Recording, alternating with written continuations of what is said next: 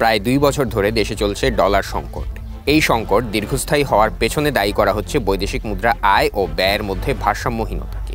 Dollar আয়ের চেয়ে ব্যয় বেশি হয় সংকট দীর্ঘস্থায়ী হচ্ছে। ডলার আয় ব্যয়ের প্রধান খাত রফতানির চেয়ে আমদানি বেশি, ফলে বৈদেশিক মুদ্রার হিসেবে ঘাটতি বাড়ছে।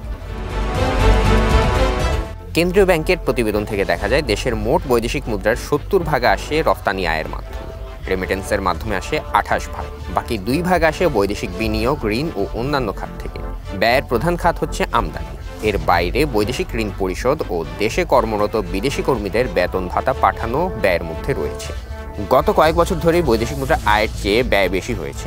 এতে ডলারের চলতি হিসেবে ঘাটতি বেড়েছে। গত দু হাজার একুশ বাইশ অর্থ বছরে এই ঘাটতি বেড়ে সর্বোচ্চ এক হাজার সাতশো কোটি ডলারে উঠেছিল এরপর থেকে আমদানি নিয়ন্ত্রণ করায় এখন ঘাটতি কমে আসছে। গত অর্থ বছরে এই খাতে ঘাটতি কমে দাঁড়িয়েছে তিনশো চৌত্রিশ কোটি ডলারে। চলতি অর্থ বছরের জুলাই ডিসেম্বরে ওই ঘাটতি মিটিয়ে পঞ্চান্ন কোটি ডলার উদ্বৃত্ত হয়েছে। তবে ডলারের সার্বিক হিসেবে এখনও ঘাটতি রয়ে গেছে। এদিকে প্রধানমন্ত্রী শেখ হাসিনা বলেছেন, দেশে ডলারের সংকট এখন ঠিক সেরকম নেই। বুধবার জাতীয় সংসদে এক প্রশ্নের উত্তরে তিনি বলেন করোনা ভাইরাস পরবর্তী রাশিয়া ইউক্রেন যুদ্ধের কারণে নিষেধাজ্ঞা, পাল্টা নিষেধাজ্ঞায় পড়ে গিয়েছিলাম। ফলে আমাদের কিছু সমস্যা দেখা দিয়েছিল। আমাদের কিছু খরচের ব্যাপারে মৃত মিতব্যয়ী হতে হয়েছে। কিছুটা সংকুচিত হতে হয়েছে। সেক্ষেত্রে আমরা এখন অতটা খারাপ নেই। ডলারের সংকট যথেষ্ট ছিল, এখন ঠিক সেরকম সংকট নেই। প্রধানমন্ত্রী বলেন, আমদানি রপ্তানির ক্ষেত্রে আমরা মনিটরিং বাড়িয়েছি। অনেক ক্ষেত্রে যতটা প্রয়োজন নয়, তার চেয়ে বেশি দিয়েও অনেকেই এলসি খোলে।